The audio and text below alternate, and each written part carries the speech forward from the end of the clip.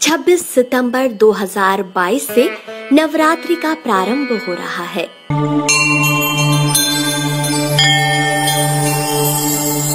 इस दिन देवी दुर्गा की पूजा के साथ साथ उनके नौ रूपों की पूजा करने का विधान है। इस दौरान व्रतधारी मंत्रों के उच्चारण के साथ तो कहीं व्रतधारी दुर्गा सप्तशती का पाठ करने का संकल्प लेते हैं। मार्कंडे पुराण में सप्तशती पाठ का वर्णन आता है।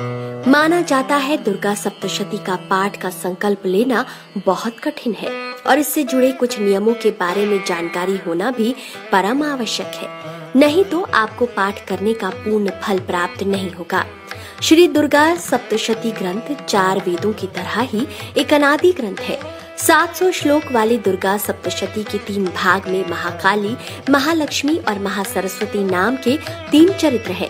माना जाता है कि अगर नौ दिनों तक श्रद्धा पूर्वक शुद्ध चित्त होकर, यानी शुद्ध मन से दुर्गा सप्तशती का पाठ किया जाए तो न केवल सभी संकट दूर हो जाते हैं, बल्कि नौ दिनों में रखी कोई भी मनोकामना पूर्ण होती है ज्योतिष शास्त्र के अनुसार, अगर आप भी दुर्गा सप्तशती का पाठ करने जा रहे हैं तो सबसे पहले कुछ नियमों को अवश्य जान ले।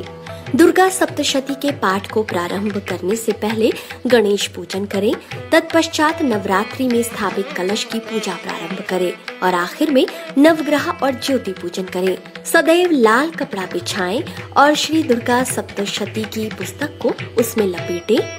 शुद्ध आसन पर इस पुस्तक को रखें। माथे पर भस्म, चंदन या रोली लगाकर पूर्वाभिमुख होकर तत्व शुद्धि के लिए चार बार आचमन करें। बताते श्री दुर्गा सप्तशती के पाठ में कवच, अर्गला और कीलक के पाठ से पहले शापोद्धार मंत्र का पाठ करना ज़रूरी माना जाता है। मान्यता है कि दुर्गा सप्तशती का हर मंत्र ब्रह्मा, वशिष्ठ, विश्वामित्र ने शापित किया है। शापोद्धार के बिना दुर्गा सप्तशती के पाठ निष्फल हो जाते हैं और व्रतियों को कोई फल नहीं मिलता। कुछ लोग एक ही दिन में दुर्गा सप्तशती का पाठ पूरा करने का प्रयास करते हैं। ऐसा बिल्कुल भी न करें, क्योंकि ज्योतिष के अनुसार एक दिन में पूरा पाठ कभी नहीं करना चाहिए। एक दिन केवल मध्यम चरित्र का और दूसरे दिन शेष दो चरित्र का पाठ करना चाहिए। यदि एक दिन में पाठ ना हो सके तो एक, दो, एक, चार दो एक और दो अध्यायों को क्रम से सात दिन में पूरा कर सकते हैं। श्री दुर्गा सप्तशती के पाठ प्रारंभ करने से पहले और बाद में नवारण मंत्र ओम एम हीम क्लीम चामुंडाय विच्चय का पाठ करना अनिवार्य होता है। अगर आपका संस्कृत का उच्चारण शुद्ध है तो ही श्री दुर्गा सप्तशती का पाठ करें, क्योंकि गलत उच्चारण का लाभ नहीं है।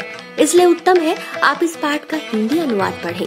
पाठ करते समय चित्त शांत रखें, ज़ोर से या उतावले होकर इसका पाठ कभी न करें। श्री दुर्गा सप्तशती के पाठ के बाद कन्या पूजन अवश्य करें।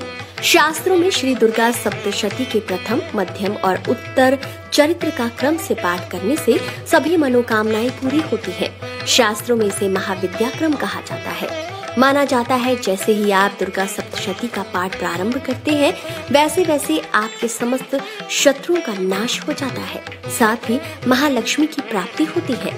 ध्यान रखें देवी पुराण में पूजन और विसर्जन का समय प्रातः काल बताया गया है और भूल कर भी रात्रि में घट स्थापना ना करें। ऐसा करना वर्जित है। तो मित्रों, सप्तशती का पाठ करने से पहले इन बातों का अवश्य ध्यान रखें। आपको आज का ये वीडियो कैसा लगा, अपनी राय कमेंट सेक्शन में अवश्य बताएँ। इस जानकारी को ज़्यादा से ज़्यादा भक्तों तक पहुँचाए।